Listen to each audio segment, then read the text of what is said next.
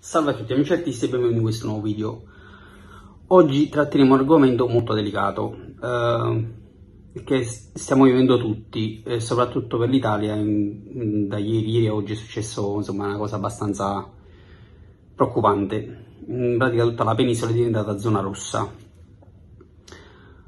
Allora, eh, vabbè, l'argomento coronavirus penso che in rete sono passati molti video che ne discutevano dell'argomento Ehm, appunto, la questione è proprio questa, che la situazione eh, va peggiorando.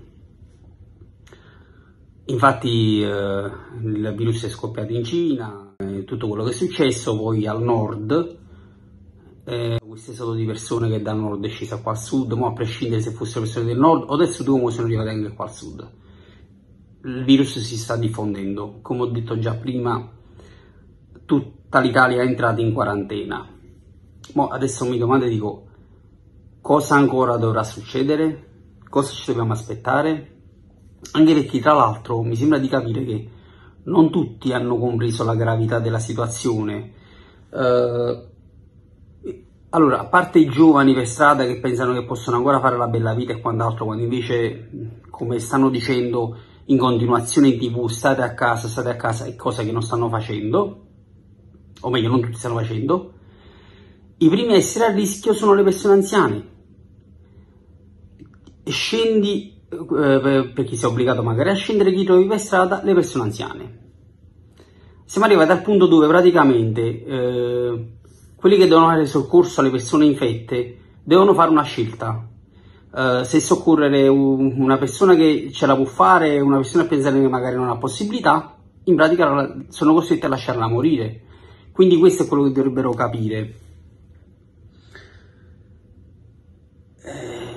Poi circolano molte notizie in rete, ovviamente poi sta al soggetto singolo riuscire a capire quali sono le notizie vere e quelle no. Eh. Poi stanno succedendo tante cose che stranamente stanno succedendo adesso, la situazione delle carceri, carcerati che sono evasi, che solitamente, cioè non mi ricordo mai che è successa una cosa del genere dove vadano tanti carcerati tutti insieme, si fosse nell'evasione di uno o di due, ma non così tanti insieme in, in questo momento. Ehm, oh, magari c'è chi dice che si tratta, di, per riguarda il coronavirus, di una semplice influenza. Ma non mi ricordo mai che quando gli altri anni si è parlato di influenza si sono chiuse le scuole, i negozi eh, e si è entrati tutti in quarantena. Quindi evidentemente veramente la cosa è più grave di come alcuni possono pensare. Eh, che altro posso aggiungere? Che comunque la situazione è difficile. Eh, per l'Italia forse proprio perché non, poiché non siamo preparati e abituati a queste cose, la situazione è destinata a precipitare.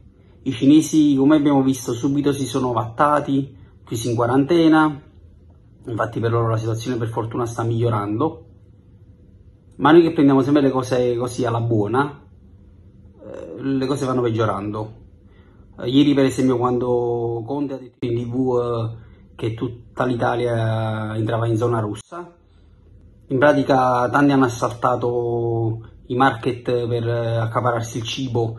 Quando è stato detto così chiaro, non rinchiudetevi non, eh, in zone affollate, piene di persone, state a casa, invece subito tutti quanti a fare spese, eh, accaparsi il cibo, richiudersi tutti in questi market pieni di persone tutti accalcati, cioè non a tutti è chiara la gravità della cosa e il comportamento che devono uh, avere.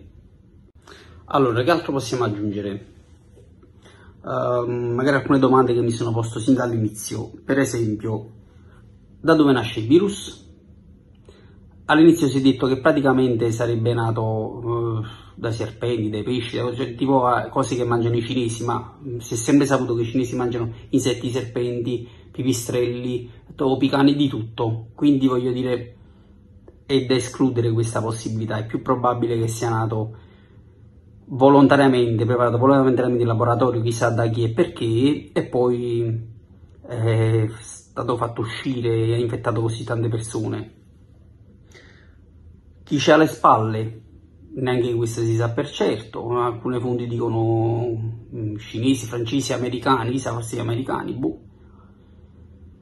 E, ehm, circolano ancora altre notizie eh, per quanto riguarda probabilmente un numero di militari che dovrebbero arrivare qua dall'America, eh, chissà per fare cosa, forse per servizi d'ordine. Poi la cosa qui in Italia forse e anche che non avendo capito tutti la gravità delle cose, dei fatti, uh, non si è compreso che se eh, gli ospedali non riescono a contenere il numero di persone che devono soccorrere, tanti saranno mandati a casa, a morire praticamente.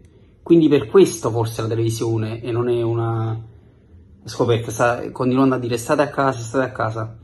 E invece, come dicevo prima, tanti giovani se la prendono alla leggera, ma sì, qua là andiamo così al bar, e le persone anziane per strada. Come andranno le cose? Staremo a vedere.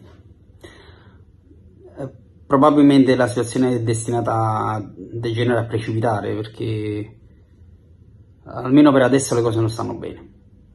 Potremmo chiamare questo vlog eh, diario di bordo eh, della situazione del coronavirus quindi a seguire farò altri vlog così per aggiornare tutti quanti anche chi non sta in Italia della situazione che viviamo qui. E quindi niente. A, al prossimo vlog